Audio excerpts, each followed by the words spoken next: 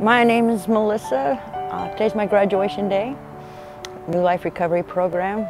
Um, before I got here, I was broken, lonely, and um, scared, and now I'm a child of God and forgiven and free. Thank you, Portland Rescue Mission.